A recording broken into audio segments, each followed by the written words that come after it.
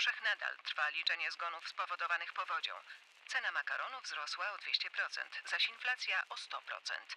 Przypominamy o konieczności pozostania w domach z uwagi na silne wiatry i ulewy.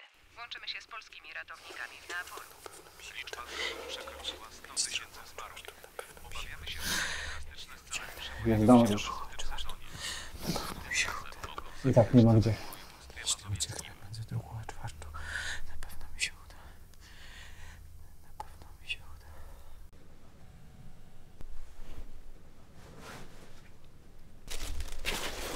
Weźmiesz moją zmianę, co? Dostaniesz moją wypłatę. Żeby więcej sprzątać dla pana domu? Chyba oszalałeś. Ja pracuję na kuchni, gotuję dla niego. Będziesz mieć go jedzenia. A jak przetrwasz? Nie muszę jeść dużo.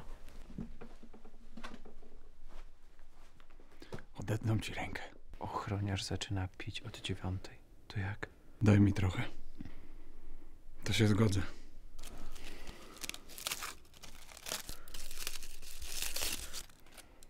Jednego. Jednego.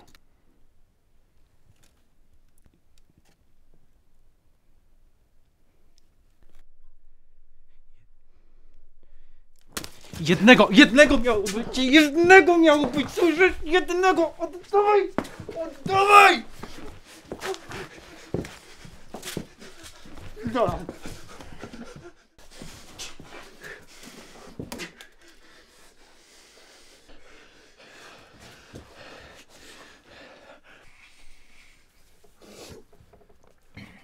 Wybacz. Jutro spróbujesz jeszcze raz.